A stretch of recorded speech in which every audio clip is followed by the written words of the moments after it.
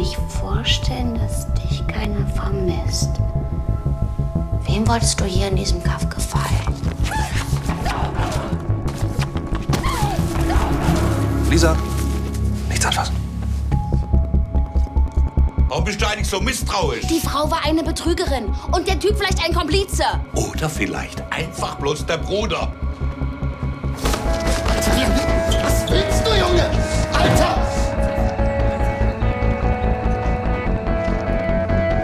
Möglich, dass der Mann schon vor dem Unfall tot war. Vielleicht ist er hier verdurstet. Der Herr Dürr. Was? Der Tote, das ist der Herr Dürr. Ah, dann wissen wir das schon mal. Super. Ich hatte Handschuhe an. Handschuhe. Lisa, der Typ da hinten auf der Rückbank ist zur Fahndung ausgeschrieben. Und wenn du dich nicht ein bisschen zusammenreißt, sitzt du ganz schnell neben dem.